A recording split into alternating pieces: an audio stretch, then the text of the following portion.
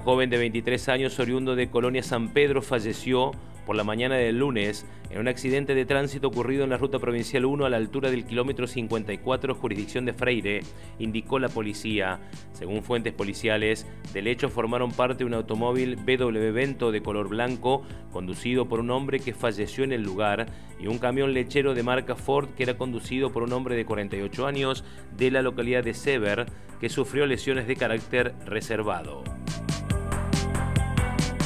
El hombre que en la madrugada del domingo asesinó a puñaladas a su expareja en el interior de un geriátrico de Calchín tenía antecedentes por violencia de género y habría premeditado el asesinato, informaron fuentes policiales. Se trata de Roberto Gutiérrez, de 42 años, quien quedó detenido a pedido de la Fiscalía de Turno de Río Segundo por el femicidio de Lorena Edith Rodríguez, una enfermera de 41 años que trabajaba en un geriátrico de esa localidad del este de la provincia de Córdoba.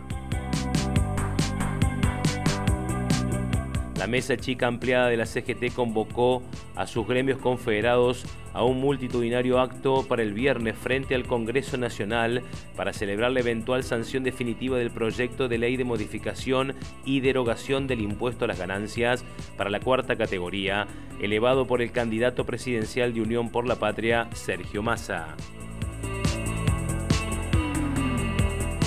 Miguel Mateo se presentará en el Quality Marina el sábado 30 de septiembre con un espectáculo sinfónico en el que interpretará sus canciones más icónicas, acompañado por su banda y una orquesta compuesta por más de 30 músicos en el escenario. Este concierto es el resultado de la celebración de sus cuatro décadas en la industria musical, en particular de su inolvidable actuación en el prestigioso Teatro Colón, donde llenó la sala por completo en febrero de 2022.